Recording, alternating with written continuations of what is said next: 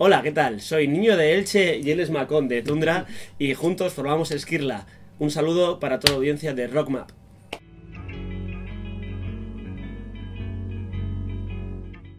Bueno, ya probamos nuestra paciencia eh, metiendo en el grupo hace tres años a Puto Maca. Por cierto, vamos a invocarle. Maca, Maca, Puto Maca. Chan. Hola, Maca. Hola. ¿Cómo estás? Es que escucho mi nombre y, y aparezco. Si dices tres veces mi nombre, Y aprietas aparezco. Muy bien. Bueno, ¿cuándo han Nos ha preguntado que por qué después de 10 años sin tener cantante hemos decidido hacer un proyecto con cantante. Pues habla tú, que tú eres el que nos metiste en el lío. Eh, conocí a Paco Contreras, el niño de Elche, en el Monkey Week, en una mesa redonda el día después de tocar nosotros y el mismo día que él tocaba. Eh, en una mesa junto a Mikel Erenchun en el que hablábamos de cómo Menos mal que fue Paco. y no Miquel. si no, no hubiésemos respondido de la manera. Y entonces, entre decidirme entre Mikel Erenchun y Paco Contreras, pues me decidí por Mikel Erenchun. Digo, no. Em, nos conocimos, eh, hablando me gustó mucho su filosofía y cómo piensa respecto a, a la música. Salimos de fiesta esa noche y ya esa misma noche yo le dije que, que quería hacer algo con él y que seguramente mis compañeros en Tundra querían. Eh, la semana siguiente estábamos en la furgoneta yendo a otro concierto, se lo propusimos, ya había hablado previamente con Maca. Sí, a mí me llamó ese mismo día. Eh, estaba hablando con- con Paco, de Eche, y que quiere hacer algo con nosotros. Y yo, cojonudo, porque siempre ya habíamos hablado él y yo, que si alguna vez, a pesar de odiar a los cantantes, que todo esto tampoco nos ayuda mucho, ¿eh? Conocer a Paco, porque madre mía, los cantantitos. Eh, si alguna vez mm, buscaríamos, buscásemos a un cantante o lo que sea, eh, tiene que ser uno que estuviese que no estuviese dentro del mundo del rock o metal o así porque sea lo típico no mejor nuestra música pero lo típico sería es entonces buscar un cantante distinto y cuando ya habíamos, ya escuchábamos a, a Niño Elche no escuchábamos yo en voces de extremo lo que Mm. había escuchado antes no y nos, nos encantó nos encantó la historia y ya cuando me lo dijo Esteban fue como vamos de cabeza a ver si puede ser y luego al resto pues también dijeron todos Que sí, la primera. Inmediatamente, sí, es extraño, ¿eh? La primera vez que nos ha Extraño pasado. porque que siempre, siempre hay algo, no, pero es que a lo mejor... Y aquí fue como, sí, sí. Entonces, Así que fue por ese lado fácil. Luego ya ha sido. Hemos tenido el máster del disco un año y una semana después de aquella mesa redonda. Ha habido más encuentros, más viajes eh, y. Y bueno, estamos muy satisfechos de lo que ha sido, pero no queríamos que fuese Tundra, por eso hemos puesto. Hemos creado un grupo junto a él. Queríamos que fuese algo colectivo. sí, que Tundra sigue siendo instrumental, entonces por eso. se derrita o se congele. Yo lo conocí en el. En el conocí, o sea, Conocerle personalmente. Le conocí ¿No? personalmente antes. O sea, había escuchado el fenómeno niño de Elche, que lo que estaba pasando, que había por ahí un cantor flamenco, eh, que, o procedente del flamenco, que venía haciendo ruido. Él sí que lo había escuchado, eh, y ya una vez eh, Paco me regaló el disco de Monkey Week, y hablando con él, y, y ya bicheando, me acuerdo del Monkey Week en el ordenador, viendo a ver qué- quién era ese tío por la tarde, después de haber conocido por la mañana, ya ahí le conocí, pero tampoco... Tú lo conociste con voces de los extremo. Yo lo conocí con voz de extremo, porque graba ahí negro, que es un chaval que conocemos, otras veces que hemos tocado con Madrid, con otro grupo que tenía, en un festival en Guantánamo, en escenario, no me acuerdo, Perpendicular Fest, tocó ahí y ahí lo conocimos. Y sabíamos que tocaba ahí, un chaval de Valencia. Y, y luego escuché y era como, Triana siempre me ha gustado, la verdad. Y fue verle y decir que bien, algo parecido crowd rock con flamenco. Estaban con la gente de Pony Bravo, que también conoces a Pony Bravo, entonces era como, joder, vaya buena mezcla se ha juntado aquí. Y ya lo escuché, yo, yo ya lo hemos hablado también alguna vez, y ya cuando me dijo él que había hablado con él, que ya había escuchado el disco, ya fue directamente. ¿no?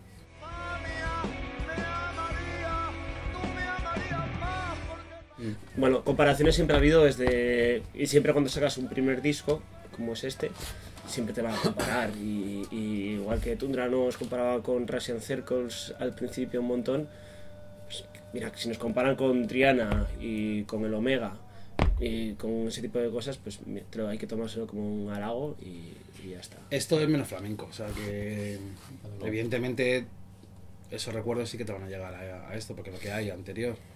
Pero, Pero no esto no tiene nada que ver con el flamenco. No se- no tiene nada de flamenco, que han metido un poquito de rock. Eh, Omega Es pues sigue siendo flamenco rockerizado. flamenco rockerizado. Nosotros es rock, con Claro. un flamenco.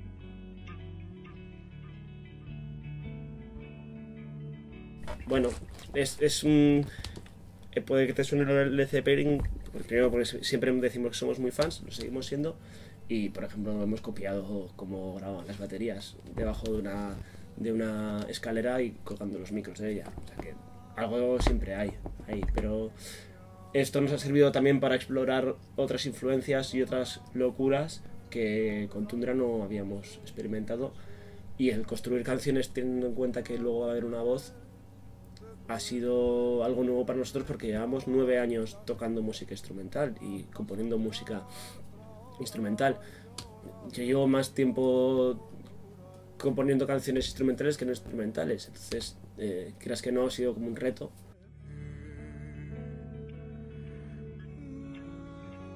Él ahora viene a, a Madrid a vivir, pero estaba instalado en Sevilla hasta la semana pasada. Con lo cual, eh, la manera de trabajar ha sido desde eh, coger una canción de Pajarillo y Bisonte, un proyecto que tenemos y yo de música acústica, y rockerizarla y, y- y que él le metiese voz, a ir grabando nosotros ideas eh, y mandándoselas, o él se ha venido en febrero una semana y luego dos semanas en agosto para encerrarnos en el local todos los días y, y terminar el disco. Evidentemente vas con ideas ya todos, Nosotros pero teníamos algunas ideas, pero luego con él las cerramos todas y, y con él variábamos, variábamos cosas.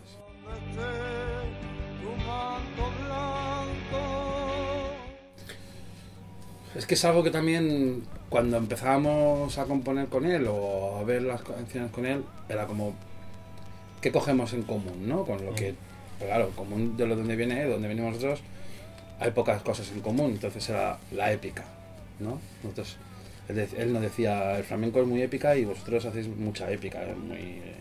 momentos muy álgidos y momentos también muy, muy ambiental, entonces era, vamos a aprovechar esos momentos ambientales, pero también queremos mantener esa misma energía. Entonces jugábamos con eso. También luego cuando te pones a tocar y debes cantar, cuando haces una, una zona muy, eh, muy tranquila, muy ambiental, que te quedas ahí bobo, escuchando la cantidad como que bien. Y luego, no, venga, para pegar el gritito, pegas el subidón. O sea que no fue algo buscado, es algo que a nosotros nos sale naturalmente, pero es algo que él también quería aprovecharse de eso. Y es, y es él, él desde un principio nos dijo que no quería que fuese un disco de flamenco ni que nos fla- flamenquizásemos. Quería, él, él nos contaba en, en- al principio nos escribíamos unos emails así y, y él nos, nos hacía hincapié en lo que, lo que le atraía a estar en un grupo de rock y en un grupo. Y eso es algo que le atraía un montón. Entonces, eh, creo que es lo que ha salido, que es un grupo de rock con, con un cantante como, como es Niño de Elche.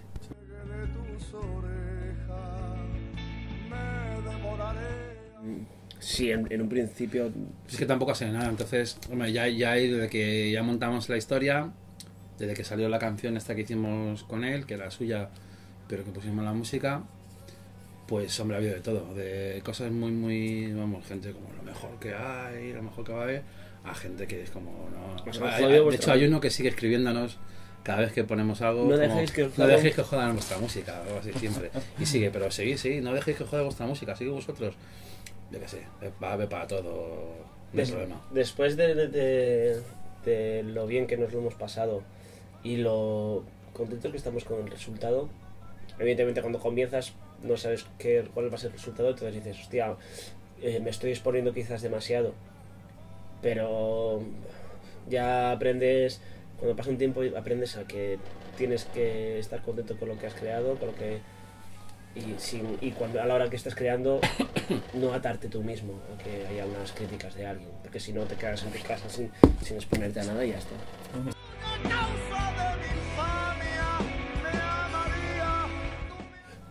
Lo que queremos subir es del término fusión.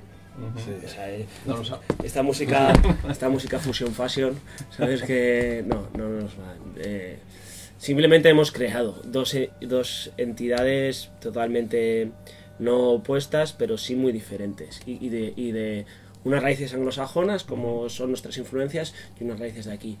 Es interesante el, el- el reivindicar, por ejemplo, una música cuyas raíces están aquí, en parte, como es el flamenco, como una reivindicación de lo local frente a lo global, por ejemplo.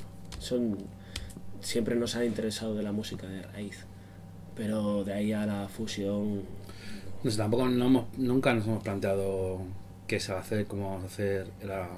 Nosotros vamos a seguir haciendo lo mismo dentro de unas limitaciones, ¿no? De, como hemos hablado antes, de dejar más espacio a, a otro nuevo instrumento. Pero era como, no queremos cambiar nada y él no quería que cambiásemos nada. Entonces era como, ya está, que no nos planteamos nada, sentarnos, podemos tocar y lo que iba saliendo nos, nos gustaba muchísimo, nos parecía muy bonito lo que hacía él, cómo sonaba, cómo encajaba. Y de igual, o sea, no nos planteábamos nunca que iba a sonar más antiguo, más antiguo, moderno, no. sin, sino una pretensión.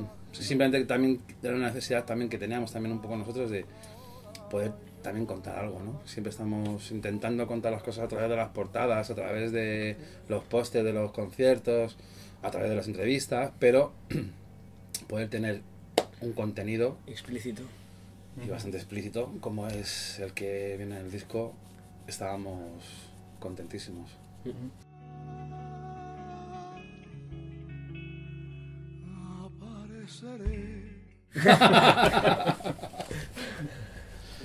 No es eh, muy buena.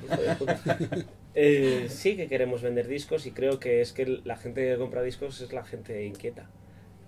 La inquieta es la gente que nos va a escuchar. Entonces no tenemos que tenemos que, que ser fieles a lo que a lo que nos viene de dentro y lo que nos ha venido de dentro desde hace años ha sido esta mezcla y cuando tocábamos él y yo por primera vez la- en una acústica las canciones de Tundra cuando él entró decía anda si son unos flamenquitos Sí.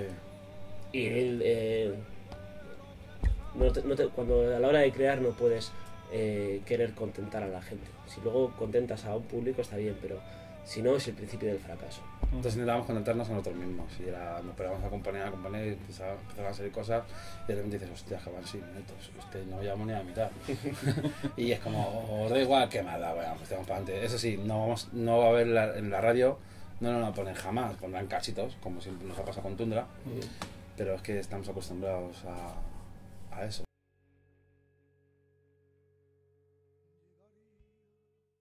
Sí, porque tienes que. Nosotros somos muy fans, siempre lo decimos, muy fans de los discos, de los LPs, de los grupos que se acaban, no de los singles. Y de sentarte una hora a escuchar un disco de principio a fin. Es algo que desde que llegaron los iPods eh, es muy difícil que la gente esté acostumbrada a escuchar un disco entero.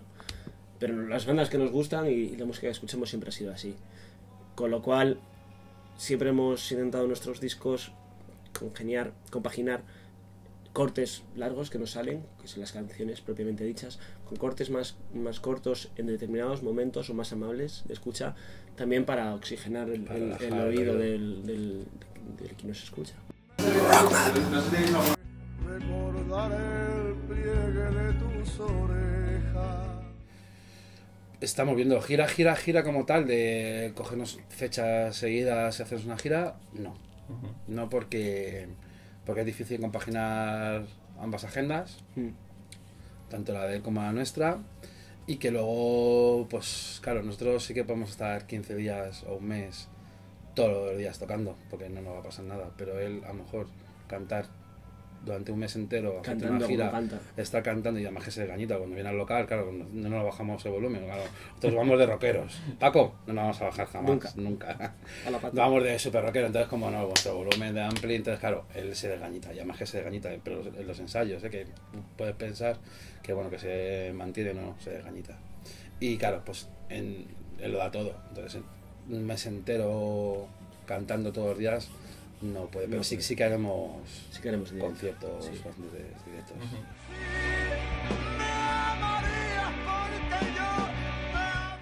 No se sabe. Hombre, mm, cuando acabamos de grabarlo se dijo que, que molaría grabar otro. Pero bueno, Es que nunca se sabe. No se sabe qué va a pasar en... O sea, la cuarta entrevista y este no estoy preguntando por el siguiente disco. ¿Qué pasa? ¿Te has cortado? ¿Se gustado? cortado? Duerme Ahora, ¿eh? que Paco se ha hecho indie, Claro. el niño de Elche ya es un cantautor indie, pues ya no sabremos dónde acabará dentro de dos años. Pobrecito. No creo que nos aguante. No creo que nos aguante más de un año. Tienen que pasar, ¿no? Cinco años y. Ah, ¿te acuerdas qué hacíamos? Sí, sí, sí, pero no creo que nos aguante mucho tiempo el pobrecito. Acabamos muy contentos y siempre está ahí que se puede hacer. Pero todo dependerá un poco de, pues, de cada proyecto pues, eso, personal o. Donde estemos nosotros dentro de 3, 4 años cuando terminemos de, de presentar el siguiente disco que queremos grabar el año que viene. Y dónde va a estar él. Depende. No te podemos decir ni que sí ni que no.